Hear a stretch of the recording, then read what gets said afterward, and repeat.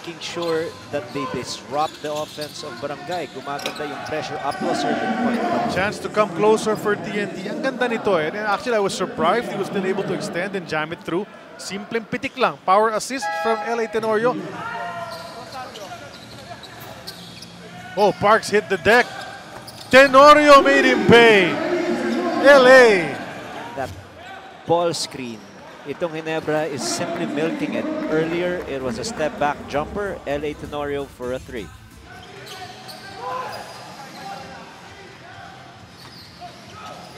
Tenorio the runner. And it drops for LA. Five straight points for Teniente. His next level speeds with Smart 5G. Nasundan pa ng runner. And he got the lucky bounce.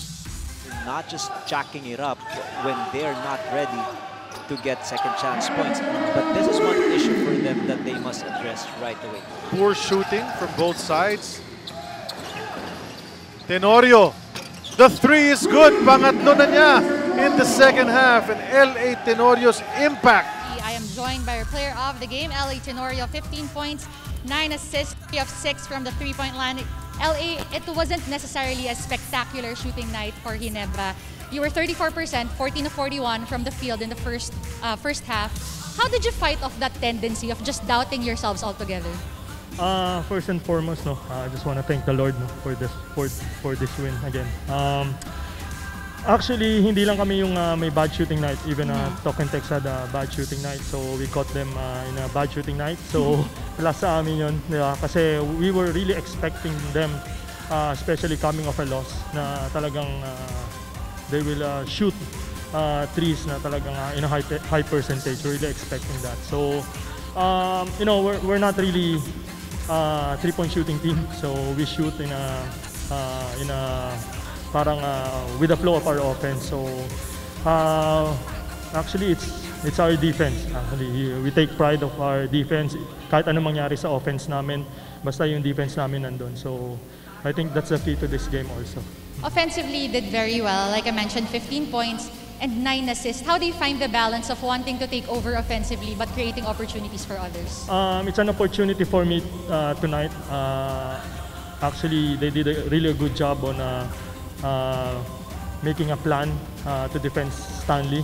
Uh, I'm sure lahat na ng teams talaga magkakaroon ng uh, ng uh, ng parang defensive scheme kay Stanley. So I had an opportunity tonight uh, to take charge and you know to to lead the, the team and to orchestrate the offense. So I took the responsibility, especially during big games. Uh, we really have to help each other talaga. Next game is on Sunday against San Miguel. You might want to invite the fans. Uh, I just wanna, you know, uh, first of all, I just wanna greet my uh, my family, uh, my three boys, uh, Santi, Sian, uh, Lucas, and of course my baby, my baby girl, baby Reese, uh, and my wife. Uh, I miss you guys. Uh, I just wanna greet also. Um, Joe, Joe. I just wanna say ano lang, na follow uh, Joe's uh, Joe Diban sa YouTube channel, kay Scotty, at syempre sa akin din. Uh, and of course kay Boss Al sa Wednesday Club.